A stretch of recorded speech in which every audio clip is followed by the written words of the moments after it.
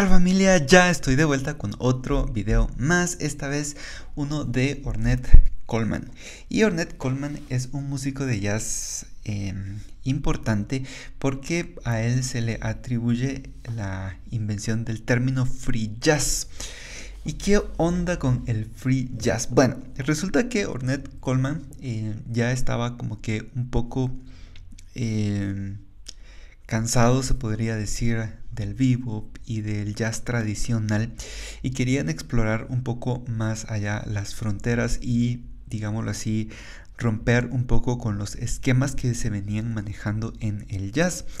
Y por eso él inventó, bueno, o se le considera pues uno de los de los padres del free jazz, un término que él mismo acuñó, ¿no?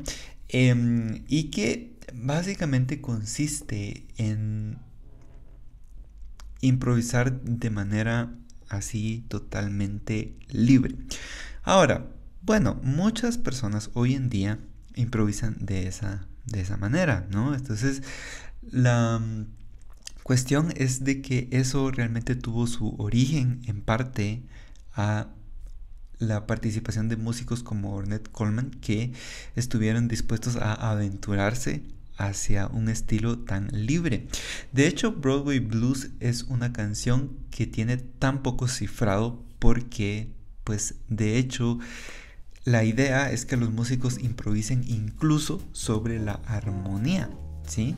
Entonces acá nos aparece un solo acorde que va a ser como que la base, un mi bemol 7. Obviamente es una canción de blues, pero es totalmente libre, o sea que lo que puede ocurrir durante ese mi bemol 7 pues pueden ser muchas cosas y los músicos pueden realmente pensar de otra manera, salirse del cajón e improvisar, ¿no?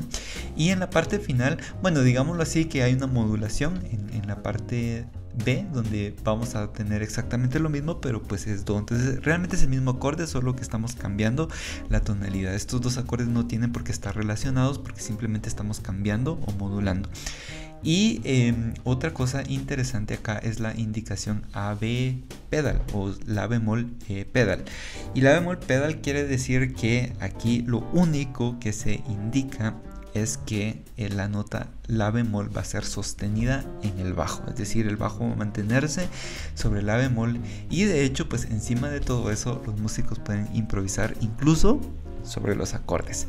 Así que cosas interesantes pueden ocurrir cuando tenemos una mentalidad, digámoslo así, de libre y en parte hay que tener pues bueno, muy buen oído y muy buen gusto para poder improvisar así, ¿no? Así que pues em, bueno, sería interesante poder escuchar algunas de las composiciones de Coleman para darnos cuenta de qué es lo que estamos hablando cuando hablamos acerca del free jazz. Así que pues una pieza muy interesante y pues no hay mucho que analizar acá porque es free jazz. Amigos, nos vemos en el próximo video.